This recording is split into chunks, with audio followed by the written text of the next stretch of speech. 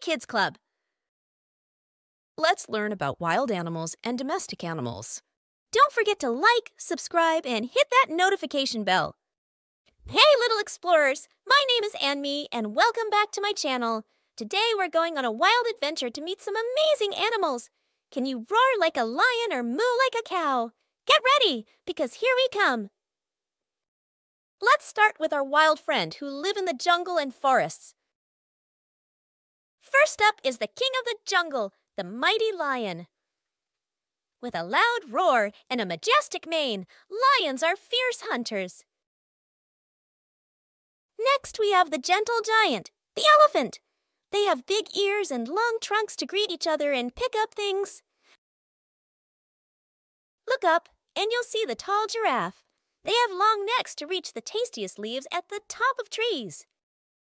Here comes the playful monkey swinging from vine to vine with their long arms and making funny faces.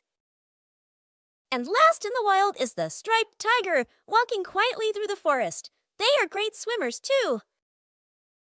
Wow, that was exciting! Now let's visit some animals who live closer to us. It's time for our domestic animal friends. Moo! Here's the cow, giving us milk and helping farmers in the fields. Who's a good boy? The loyal dog, Always happy to see you and play fetch. Soft and cuddly, the cat loves to nap in the sun and chase after toys.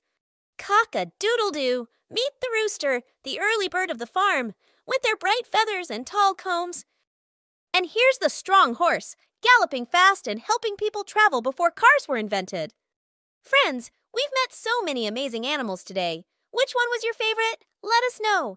Don't forget to like, share, and subscribe for more fun adventures. See you next time. Thank you for watching.